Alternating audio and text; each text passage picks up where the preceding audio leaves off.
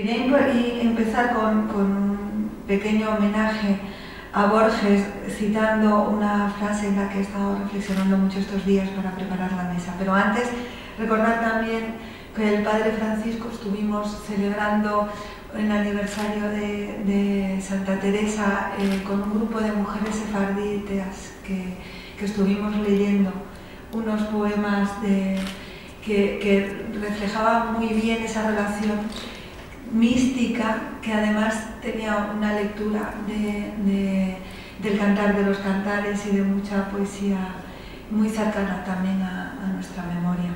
Decía Borges en un relato, ser inmortal es baladí, menos el hombre, todas las criaturas lo son, pues ignoran la muerte. Eh, esto me hizo pensar y relacionarlo con algo muy cercano al judaísmo, me preguntaba si quienes ignoran la muerte no ignoran también la vida. Y por lo tanto, ¿está vivo quien no lo sabe? A partir de aquí eh, me, acercaba a lo que es mi sensación, mi sentimiento, porque yo hablo desde una visión de, la práctica judía y también de la práctica literaria. Yo soy novelista y tengo novelas y creo que la poesía y la literatura también es una forma de entrar dentro del pensamiento místico. Borges es en su relato, en su, en su escritura, hay una fuerza mística que los escritores judíos sentimos también de una forma muy cercana y agradecemos porque a través de allí hay esa soledad judía de la que hablaba Celan de alguna forma desaparece. Esta frase me conecta con eso que, que, que el judaísmo aporta, que es el pensamiento en que la vida no solo vida, sino reflexión sobre la vida y responsabilidad sobre la vida y conciencia. Entonces, esa vida consciente es lo que es la vida. Desde ahí el judaísmo aporta esa responsabilidad, que no es más que responsabilidad por el otro. Hay toda una nueva corriente de pensamiento judío que se vio dramáticamente interrumpida con la Shoah y que parte de Germán Cohen, como hemos estado hablando antes, Germán Cohen, Levinas, Martin Buber, que aporta esa visión y que atrae al pensamiento contemporáneo a partir de Kant de la responsabilidad por el otro. Hasta el punto que Martin Buber decía que el yo y el tú, solamente en ese diálogo entre un hombre y el otro hombre, se da lo humano. Por eso en el judaísmo la mística está completamente arraigada dentro de la propia práctica. El judaísmo al final es una, es una comunidad de lectores que tiene que ver con la biblioteca que hablaba Borges. Es una comunidad de lectores, es como un círculo de lectores que se reúnen a través de un libro, pero a través del tiempo. El Talmud son lecturas de lecturas y se une una lectura con la otra. La mística mm, está muy ligada también a la práctica talmúdica y del día a día. Un hombre puede ser místico o no, depende a qué lectura y en qué grado de lectura se acerque a esa lectura. Tenemos la Biblia y la práctica de la Biblia. Yo, en mi práctica diaria y mi contacto con gente que practica el judaísmo, me encuentro que en la misma práctica y en un grado muy, en el primer grado, digamos, de la práctica, hay iluminaciones que llevan a estos hombres a tener ciertos rasgos que le comunican con, otros. Y entonces en esas capas de lectores comunican unos con otros apenas incluso sin saber y sin tener esa conciencia de que están participando en ese grado. En, en, España, en España se dieron a la vez, curiosamente, muchas lecturas de la Biblia conjuntas. Se dio, por un lado, la lectura de Maimónides. Maimónides aporta una lectura racional, una práctica diaria muy concreta, muy pegado a lo concreto, pero a su vez surge el libro del Zohar, que es este libro, que es otra capa y otra lectura. Y todas ellas se, conectan, y todas ellas tienen, están vivas, todas ellas, ellas tienen ese punto luminoso de Aleph y en el que cada uno puede reconocerse, pero que todas ellas forman parte de esa unidad. El sábado, por ejemplo, la práctica del sábado, que aquel que, por ejemplo, tenemos el Shulchan Aruch, que es la mesa pues, puesta, que también se dio en España. Muchos dicen que es un intento fundamentalista porque es reduccionista y porque te aporta una práctica muy concreta y te dice cómo hay que hacer las cosas, ¿no? Pero a veces también facilita esa lectura. Y el Sulhan Aruch también surge en España y te explica muy bien cómo, cómo celebrar cada, cada elemento, lo, lo, reduce, pero también lo amplía. Y el sábado, al final, en esa práctica del sábado, él conecta con todos los sábados y el sábado es uno y es una eternidad de sábados. De forma que, que hoy en día todos los judíos que practican el sábado piensan, sienten que si en algún momento todos los judíos a su vez celebraran juntos ese sábado, pudieran acercar ese tiempo mesiánico. Porque al final esa práctica lo que pretende es acercar la llegada del, del, tiempo mesiánico, en el que de alguna manera el mundo acabaría con esa terrible sensación de esa vulnerabilidad del que el padre Julio nos, nos hablaba ¿no? y del, del, tiempo en el que estamos viviendo.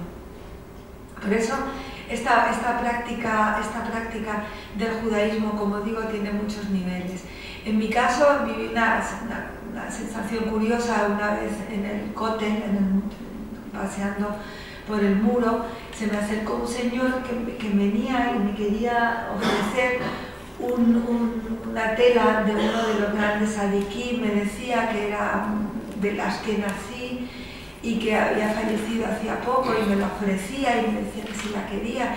Entonces a mí me perturbó y le pregunté, mirándole a los ojos, que Maimónides hubiera pensado de que yo tuviera, de, ¿qué, ¿qué, pensaba Maimónides de eso, porque yo no, no, no, no, me sentía nadie para juzgar o no, entonces recurrí a Maimónides para, y, le pregunté, y entonces me dijo, no, no, que Maimónides no, no me lo, me diría que no. Entonces, recurriendo a Maimónides y a su pensamiento racional, a su vez también podemos encontrar vías de acercamiento a un judaísmo también mucho más arraigado a, la práctica concreta y a, a, lo cercano. La mística judía intenta ese vínculo y como digo es otra lectura. Tiene que ver con el Zohar, del que es probablemente eh, Borges tuvo una lectura muy cercana, porque partes, y, bueno, no tenemos tiempo, a lo mejor después de la, de la, de, la mesa y cuando hayan intervenido todos, podríamos encontrar ese vínculo. El, simplemente terminar con, con, con del Aleph, que, con dos cositas, una del Aleph y otra del Golem, que me venía muy cercanas a este pensamiento judío. Decía en el Aleph, una, un diálogo, dice, si en el lugar donde está, sin confundirse todos los lugares de la orbe, vistos desde todos los ángulos, se acerca al sótano y dice, pero no está muy oscuro el sótano. O sea, esa oscuridad en la que muchos nos podemos, de la que nos queremos apartar, y le dice, la verdad no penetra en el entendimiento rebelde. Si todos los lugares de la tierra están en el Aleph, ahí estarán todas las, luminarias, todas las lámparas, todos los, veneros de luz. Así el golem también recuerda eh, esa creación del hombre, esa creación en la que compartimos también todas las religiones piensan en esta luz está ahí, en esa verdad, en contra de esa oscuridad. En el golem, el golem es la creación del hombre a través de la tierra, cuando el hombre es creado, hay dos creaciones, si leemos la creación, pero no tenemos tiempo de profundizar en eso, si leemos la creación, vemos que en el Bereshit hay dos creaciones. Hay una, la segunda, en la que aparece el golem, que es en la creación de Adán. Adán se crea de la tierra, pero viene Dios y le insufla la vida. Yo creo que esa violencia de la que hablamos es el hombre sin ese espíritu, sin ese soplo de la vida todo este diálogo de que Julio hablaba quedaría vacío si hablamos de un diálogo sin, sin, sin que las religiones aportáramos esa verdadera experiencia de cómo las propias religiones, el propio cristianismo, el propio judaísmo, se ha enfrentado a su propia oscuridad. Todos hemos sentido que las religiones han vivido épocas de oscuridad.